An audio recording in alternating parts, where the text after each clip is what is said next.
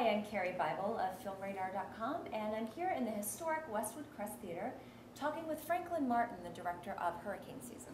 Hey, Franklin, nice to meet you. Nice to meet you. So tell me about your film.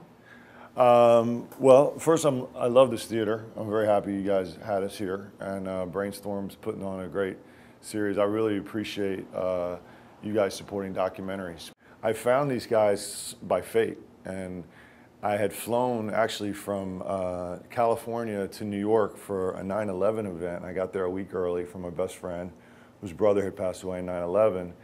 And by the time I got off the plane, I had read a thousand every article you could read on Katrina, and um, I told my friend, I said, I, I got to go down there. I was in a hotel, not a hotel, a motel, because I think there's a difference. Uh, it was a little uh, Holiday Inn, and there was a lot of people that had that were displaced from Katrina, and an old woman said to me, uh, I think you really want to do something on some little high school in the middle of nowhere. So um, I said, you know, you're right. Found this article about East St. John, the high school that I did it on, and they were playing Hahnville.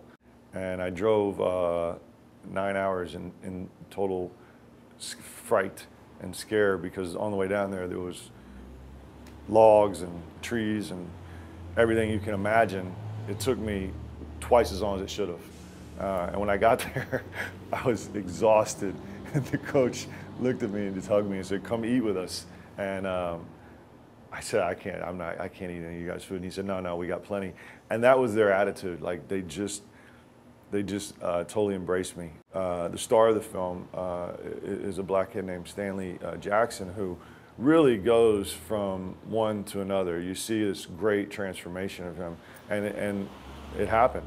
But I had to show the bad in order for you to see the good. If you see the film, you know that it's about um, racial and religious tolerance and putting others before yourself and, and teamwork. You know it. It's what it is. Because in order for them to survive this, um, the worst natural disaster in our country's history, they had to put their selves aside and do what was best for the collective group and the team. And the power of teamwork is unbelievably powerful.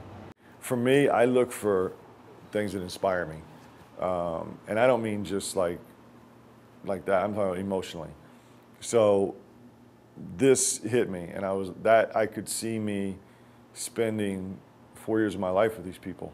Or, and I say that, and I don't mean that I was with them for four years, but you're also in an editing room.